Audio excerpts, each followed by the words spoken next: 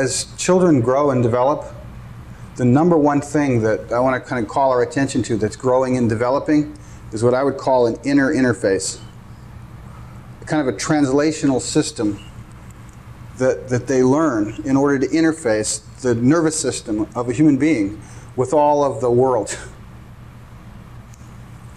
And I want to say that the inner interface that's growing right now is grossly inefficient, grossly energetically dissipative of the very capacities for learning.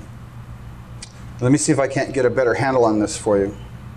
When a small child, for example, is learning to walk, they're tuning and instrumenting the extension of themselves into space, into their own bodies.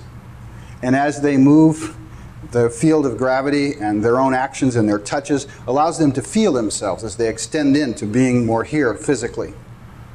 And to a similar degree, the same process is going on when they learn to differentiate sounds. There's a process of, of internal, uh, almost acoustical feedback with which they learn to be able to instrument and extend out what they can hear, this word as opposed to that word. The differentiation process. This is similarly true of, a, of a, how a child unfolds visual space. If we put a baby in here right now, they would understand that they would see that there's people here, but they wouldn't see chandeliers and they wouldn't see projectors or microphones. They don't have any language for any of this. They don't have any, so it just doesn't exist. They, they learn to differentiate and extend themselves. Now, when it comes to how well children can do this in the,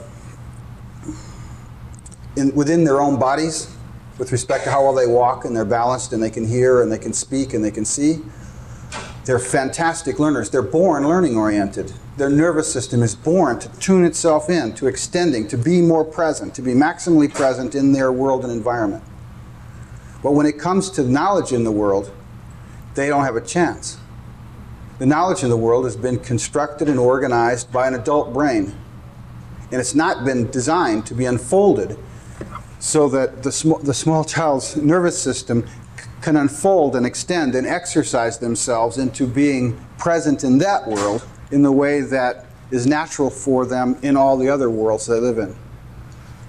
So, as a consequence of that, what they end up doing, I suspect, and we want to talk about more, is developing an, an inner interface, an inner translational system that rather than being based on a, a kind of instrumented trust of their own impulses, is based on a, um, a series of almost rote and mechanical and highly dissipative and energetically draining uh, translations between their nervous system and the world.